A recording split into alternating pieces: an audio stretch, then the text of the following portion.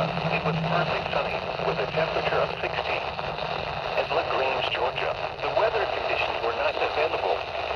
And now, here are some observations from around the region. Temperatures were between 65 and 68 degrees. It was sunny at Tuscaloosa, Montgomery, and Columbus, Georgia.